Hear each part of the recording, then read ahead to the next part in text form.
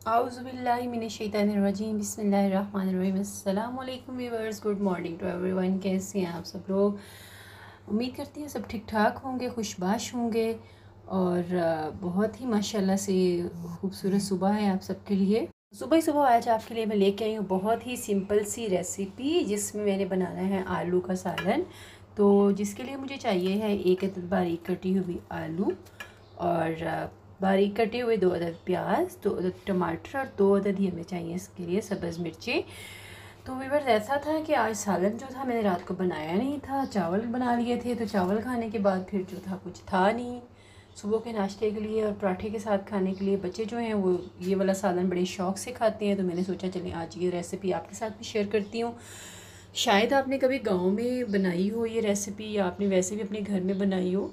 तो ये बहुत मज़े की लगती है। वीडियो को शुरू करने से पहले हमेशा की तरह आपसे वही दरख्वास्त चैनल को सब्सक्राइब कीजिए, वीडियो को लाइक कीजिए और कमेंट सेक्शन में लाजमी बताया करें कि आपको मेरी वीडियो कैसी लगती है।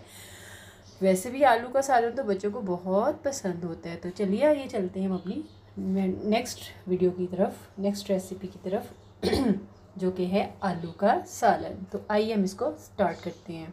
बसमीम तो सबसे पहले मैंने क्या किया है? ऑयल को कढ़ाई में डाल लिया। मेरी कढ़ाई सारी अंदर से जो है इसका नॉन स्टिक उतर रहा है। प्लास्टिक उतर रही है। पहरा क्या करें? जी उतरती है तो उतर जाए।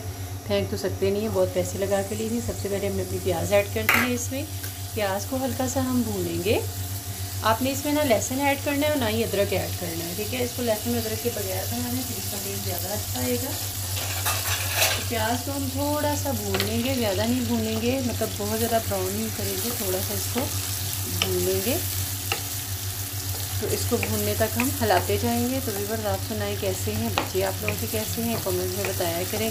कमेंट सेक्शन में बताया करें कि कौन कौन मेरी रेसिपी को ट्राई करता है और किसको कैसी लगती है। या सिर्फ़ देखते ही हैं आप लोग। ठीक है, ये भी बिल्कुल नया ही सालन है, आपने शायद कभी नहीं बनाया होगा, इसमें आप अंडा भी ऐड कर सकती हैं चाहें तो।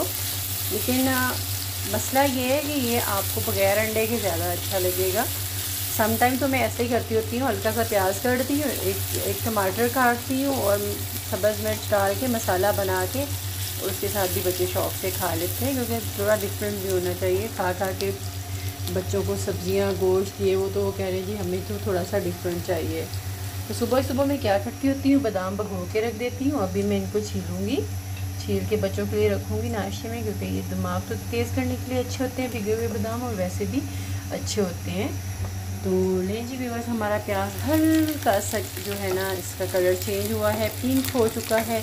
तो अब क्या हमने करना है? इसके अंदर हम अपनी टमाटर को ऐड करेंगे। हमने अपने टमाटर प्याज के अंदर ऐड कर दिए और इसको दिया है पकने के लिए रख।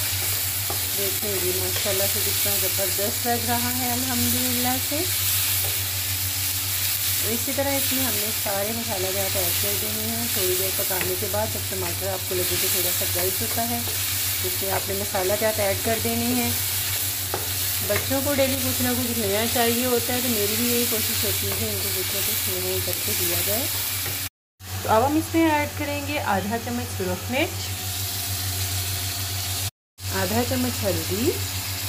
आधे से थोड़ा कम कर लीजिएगा, ज़्यादा नहीं। कुटी हुई लाल मिर्च आधा चम्मच। देखिए, आपने दो अदद इसमें ऐड कर दी हैं सब्ज़ वाली भी, इसलिए ज़्यादा नहीं करनी। और आधा ही चम्मच आप इसमें नमक का ऐड करेंगे, ज़्यादा नहीं करना, वरना तेज़ रहेगा क्योंकि मैं पिंक नमक यूज़ करती हूँ। और इसी तरह हम साथ थोड़ा सा बहुत पिसा हुआ धनिया और मसाला पाउडर भी ऐड कर देंगे, तकरीबन आधा चम्मच। और एक चुटकी आप इसमें जीरे की ऐड कर दीजिएगा और इसको अच्छे से भून दीजिएगा। अच्छे से इसकी भुनाई कीजिए। और अब आप इसको थोड़ी देर के लिए छोड़ दीजिए ताकि आपके टमाटर जो हैं वो गल जाएँ। जी तो व्यवर्स हमारा जो कि मसाला रेडी हो चुका है तो अब इसके अंदर हम क्या करेंगे? हम डाल देंगे अपने कटे हुए जो बारीक टुकड़े हैं आलूओं के। वो के मैंने रखे हुए थे, पानी निकल निकल चुका है। और इसको हम अच्छे से भुनाई के लिए छोड़ देंगे और ऊपर से कवर कर देंगे। ऐसे ही, और फिर इसमें हल्का सा आधा कप थोड़ी देर के बाद, पाँच मिनट के बाद पानी का भी ऐड करेंगे ताकि आलू अच्छे से गल जाए। तो फ़िलहाल इसको हम पकने के लिए छोड़ देते हैं।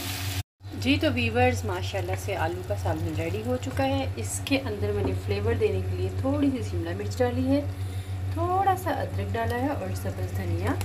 ये सारी चीज़ें इसमें ऐड कर देंगे। और यूँ हमारा सालन जो है वो अल्हम्दुलिल्लाह से रेडी हो चुका है। खाने के लिए बिल्कुल हो चुका है तैयार। आप भी खाइए, बच्चों को भी खिलाइए और मुझे रखिएगा याद दुआओं में। नेक्स्ट वीडियो में मिलते हैं। तब तक के लिए अल्लाह हाफिज़।